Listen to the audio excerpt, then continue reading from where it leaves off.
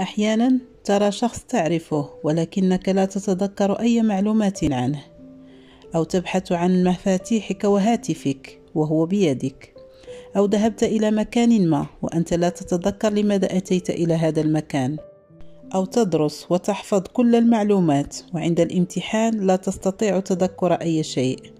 إذا تعرضت لأحد هذه المواقف فأنت بالتأكيد تعاني من النسيان. السلام عليكم ورحمة الله تعالى وبركاته. أتمنى أن تكونوا بخير وفي أحسن الأحوال. مرحبا بكم في فيديو جديد على قناتكم قناة صفية.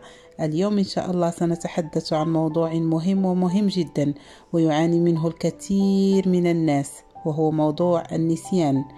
وهذه الظاهرة تعاني منها النساء أكثر من الرجال وأنا واحدة من النساء التي تعاني من هذه الظاهرة. لهذا بحثت جيدا في هذا الموضوع وأردت أن أشارك معكم النقط التي رأيتها يعني ستفيد الجميع كما أفادتني. إذا كنت أو كنت مهتم بهذا الموضوع تابع معي الفيديو إلى الآخر.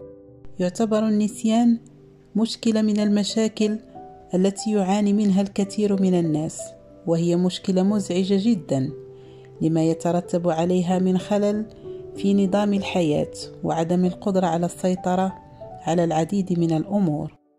وذلك بسبب نسيان الأمور المهمة كنسيان المواعيد أو نسيان أماكن وضع بعض الأشياء المهمة كالأوراق والنقود أو حالة نسيان المعلومات بعد حفظها كما يحدث مع بعض الطلبة في المدارس والجامعات. ويعرف النسيان على أنه حالة من عدم تذكر المعلومات والأحداث التي يمر بها الشخص وهي ظاهرة طبيعية تحدث مع أي شخص.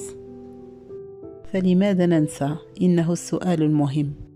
يرتبط النسيان بالعديد من الأسباب والعوامل التي يتعرض لها الإنسان والتي سنتعرف عليها فيما بعد في هذا الفيديو. إلى جانب ذكر بعض العلاجات التي قد تساعد في التخلص من هذه الظاهرة التي تؤرق الكثير. ومن أهم أسباب النسيان ضغوطات الحياة. فكثرة الضغوطات وتداخل الأحداث اليومية التي يتعرض لها الإنسان يسبب ضعفا في عملية طبعها في خلايا التذكر مما يزيد من حدة النسيان.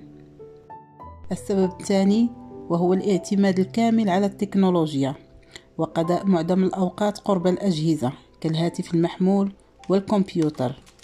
فقد أكدت دراسات أن استخدام الهواتف المحمولة يؤثر سلبا على ذاكرة الإنسان لأنه يصبح غير قادر على حفظ بعض المعلومات ويصبح غير قادر على التركيز وذلك لاستعانته الدائمة بذاكرة الهواتف المحمولة. والوصول لأي معلومة عن طريق الهاتف مما يحد من دور الذاكرة لدى الإنسان وقدرتها. السبب الثالث الإرهاق الذهني والتعب. يؤدي الإرهاق الذهني والتعب إلى التسبب بحدوث ضعف على مستوى خلايا المخ مما يؤثر على قدرة الفرد على التركيز. كذلك من بين الأسباب التدخين. يؤثر التدخين سلبا على الذاكرة وكذلك الحال مع المخدرات. حيث يسبب كلاهما ضعف في استيعاب المعلومات. وهذا يؤدي إلى ازدياد حدة النسيان وكذلك إلى مشاكل واضطرابات في النوم. خامسا عامل الوراثة. تلعب الوراثة دور كبير في نقل بعض الأمراض ومن ضمنها النسيان. تتضاعف هذه النسبة مع تكاثر الأجيال. سادسا الاكتئاب. يعتبر الاكتئاب والذي تعاني منه النساء بشكل خاص. سببا في تضاعف حالة النسيان بسبب ما يتبعه من تفكير مستمر فيصبح الشخص غير قادر على التركيز على تصرفاته وتذكر ما يفعله أو ما يجب عليه فعله. ويحدث كذلك النسيان عند النساء في فترة الحمل حيث تتسبب هرمونات الحمل بحدوث ما يطلق عليه ضبابية الدماغ والتي يترتب عليها نسيان لبعض الكلمات والتواريخ أي تشويش على الذاكرة بشكل عام.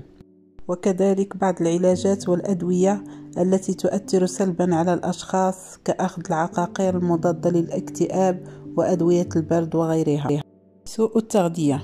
كعدم تناول الأغذية التي تحتوي على أحماض الأوميغا 3 والذي يؤدي نقصها إلى ضعف تغذية الدماغ وبالتالي إلى ضعف الذاكرة.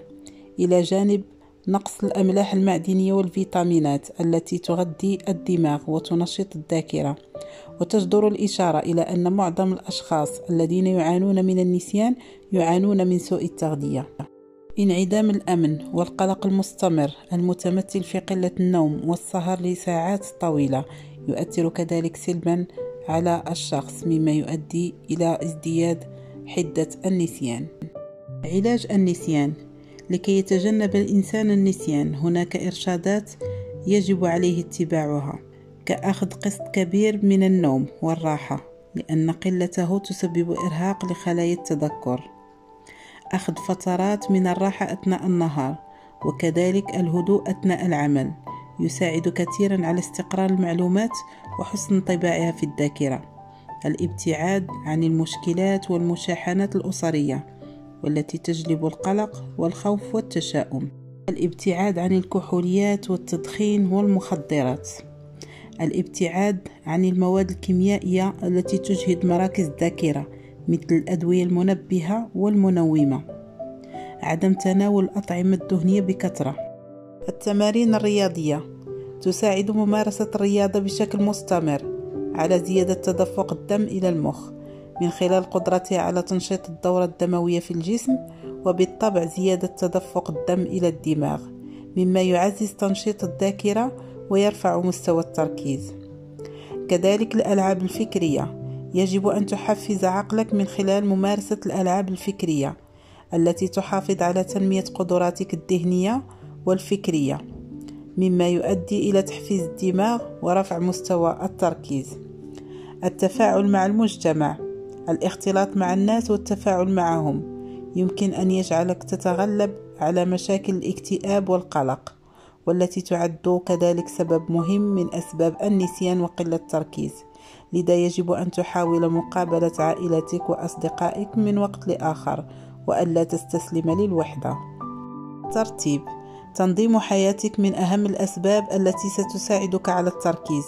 وتجنب النسيان الناتج عن كثرة العشوائية والارتباك في حياتك. الأكل الصحي يوفر النظام الغذائي الصحي العناصر المناسبة والمفيدة التي يحتاجها الجسم لأداء جميع أنشطته بشكل صحيح بما في ذلك الدماغ والذاكرة وقدرتهم على العمل بشكل صحيح. من بين الأغذية التي ينصح بتناولها والتي تساعد في علاج النسيان تناول الأغذية الغنية بالفيتامين B12 و B6 الإكثار من تناول حمض الفوليك المتوفر في الفول كذلك السبانخ والبروكولي لأن كل الخضروات ذات اللون الأخضر هي مفيدة للذاكرة لأنها تحتوي على مجموعة من الفيتامينات التي تحافظ على خلايا المخ وتمنع النسيان. شرب الماء بكثرة. لأن الدماغ يحتوي على 40% ماء وأثبتت بعض الدراسات أن الجفاف كذلك يدمر خلايا المخ. أو الأغذية الغنية بالأوميغا 3 من بينها الأسماك. آه، كذلك شرب المشروبات التي تحتوي على الكافيين كالقهوة والشاي الأخضر مع النعناع وكذلك شرب عشبة المرامية. كل هذه الأشياء تساعد في تنشيط الذاكرة وفي الحد من ظاهرة النسيان. ويبقى العلاج الأول والأخير هو الحرص والمواظبة على قراءة القرآن الكريم. بالرغم من أن النسيان يزعج الكثير منا إلا أنه نعمة من الله سبحانه وتعالى خصوصا في حالات الألم والحزن.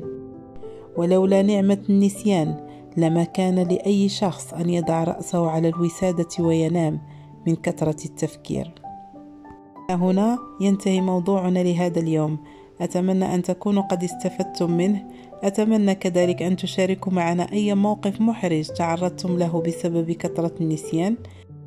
وإذا أعجبتم بهذا الفيديو لا تنسوا دعمي بلايك لا تنسوا التسجيل في القناة وتفعيل الجرس ليصلكم كل جديد إن شاء الله.